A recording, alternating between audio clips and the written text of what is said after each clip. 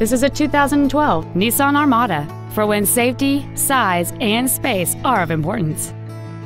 It has a 5.6-liter eight-cylinder engine and an automatic transmission.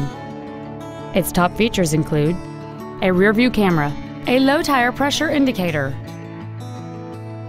aluminum wheels, and power-adjustable gas and brake pedals enable you to change their height and distance to fit your body rather than you fit to their positions.